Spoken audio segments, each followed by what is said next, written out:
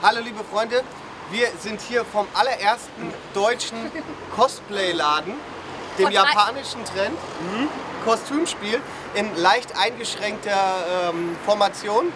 Unser lieber Freund Max muss aufgrund einer Verletzung heute leider das Bett hüten. Und wir gehen jetzt rein und schauen uns mal an, was Cosplay, wie uns das das Leben bunter gestalten kann. Richtig, und den Laden gibt es erst seit drei Jahren und es ist der einzige hier in ganz Deutschland, das muss man erwähnen. Und wir werden jetzt diesen Laden mal uns näher anschauen. Und wir haben das, den Unfall von Max auf Video. Vielleicht kriegt ihr den zu sehen. wichtig. Das ist hier. Das wollen die Leute, da habt ihr Ahnung. Seid ihr Theaterregisseure oder bin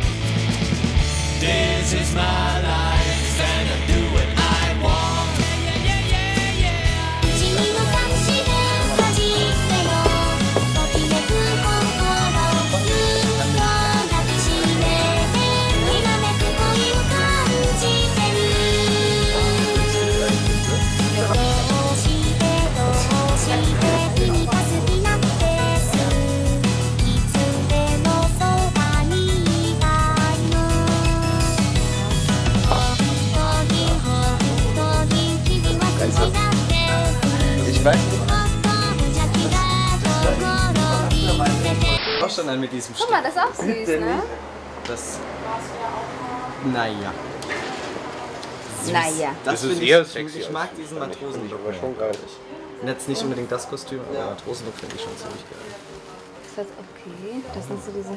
Und man verkleidet sich und spielt man dann damit, oder? Äh, unterschiedlich. Also muss man nicht, aber meistens machen ne? Fotos. Also ich kenne auch die machen dann so ähm, Theaterstücke quasi. Ja. So. so japanische. Weil. Ja, die schönen haben sie natürlich Dann wird man auch, sieht man, Frauen sieht man ja gar nicht mit sowas bei uns, also, oder fast nicht. Ja. selten. Weil ich bin auch recht überrascht hier, dass im Cosplay-Laden in Frankfurt auf der Berliner Straße, dass die Sachen hier auch durchaus erschwinglich sind. Wenn ich mir nämlich überlege, dass wenn man auf so einem League of Legends Event ist, bezahlst du für so eine Mütze mal direkt 30, 40 Euro. Ja? Und hier gibt es die für 12. Ja, das ist, ist immer schwierig mit den Sachen. Wir haben Sachen, die sind aufwendiger, teurer. Wir hatten einiges an Videospielkostümen auch von Ja. Final Fantasy und so. Okay. Aber das ist halt mega aufwendig, dementsprechend mega teuer und die Zielgruppe, denen ist es dann zu teuer.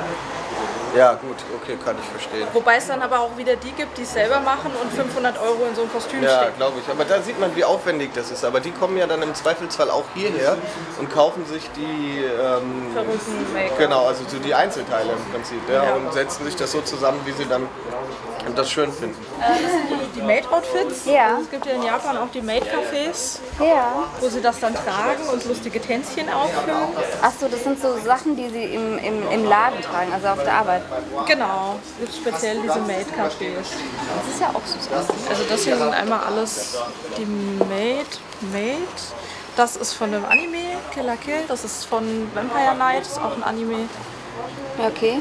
Das ist alles äh, eine. Das, Das ist ist auch süß. Maid-Outfit. Ja, das ist natürlich Du auch bist so süß, Stefan. Dankeschön.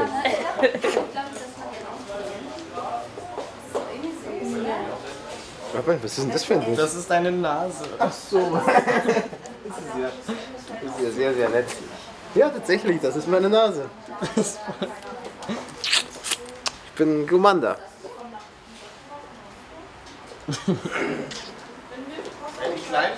Die sagen, wir haben immer Oh, bist du süß.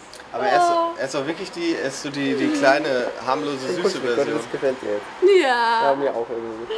Der sagt das frauenherzig. Oh. Du kannst auch Karneval schön anziehen. Könnte ich. Macht schön. Das ist schön. Also ich zieh das jetzt mal an. Allgemein, also es ist so, so ein cooles Gefühl. Und man ist voll flauschig und jeder will einen umarmen. Dann halt das mal vorne an der Stirn fest.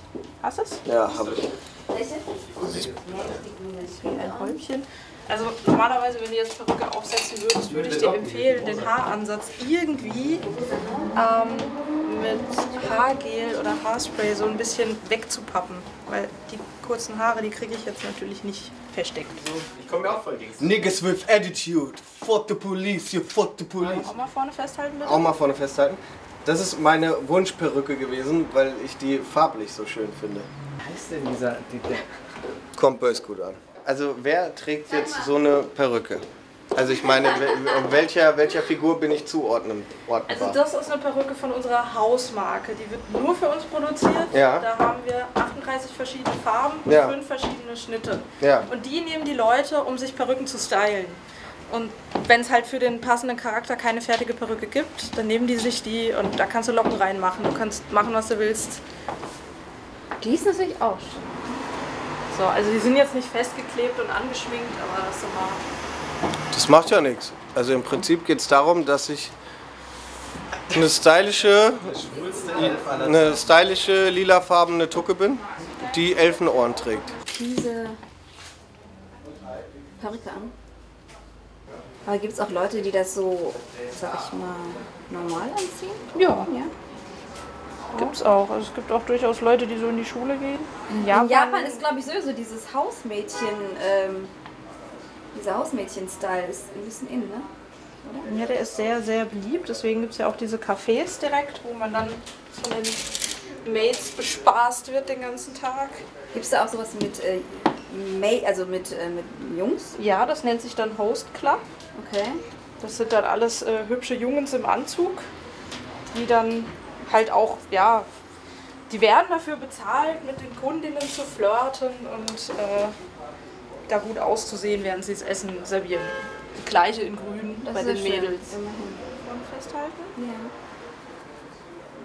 Die nehme ich mit einem Mützchen, wenn ich nicht an den Klammern hängen bleibe. Mit Conny ist auch gut.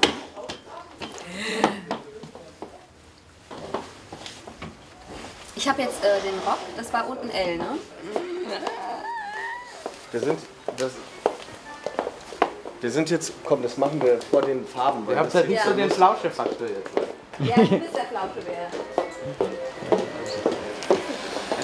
ein Also, Freunde, wir haben hier die Kombination aus. Vielleicht erzählt mal jeder selbst. Also, ich persönlich halte mich für ein bisschen einen halbschwulen Elben mit lila Haaren, aber fühle mich sehr wohl in meiner Haut. Jetzt vielleicht mal India zu deinem, zu de- deiner, deinem Anzug. Also, das ist kein Anzug, es ist ein Kleid. Also, ich, ich glaube, ich bin so, ein, äh, so eine Housemaid, äh, stelle ich da und ähm, fühlt sich eigentlich ganz cool an. Also, ich habe selten so ein Dress angezogen und ich liebe ja Perücken. Ich stehe voll auf Perücken und, ähm, Hausmädchen. und es ist echt äh, schön. Ich bin das gewohnt, Ich glaub- so mit Hausmädchen umzugehen. Ach, echt? Komm, bück dich mal von der Ey, Wir haben, doch, kurz. wir, haben doch, äh, in, wir haben doch in, der ersten Sendung festgelegt, wie die Rollen Du verteilt sollst sind. dich oder? nur kurz bücken. Nein, ich bück mich nicht. Du kannst dich bücken. Und da haben wir noch eine Ente mitgebracht im Sortiment. Eine Ente. Jetzt erklär mal. Ich bin ein Drache, ich bin Glumanda, ich bin ein Pokémon. Ja, da ist doch so ein Schnabel drauf.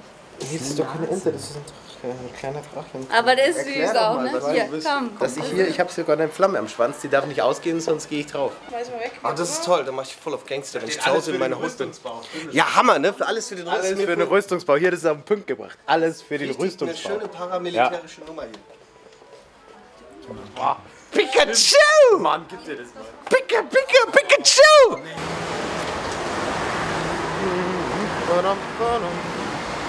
Boah, du Mann, da gefällt's dir ja gar nicht. Gar nicht gut? Okay, wir können, pass auf, ganz früh. Ich krieg alles umsonst.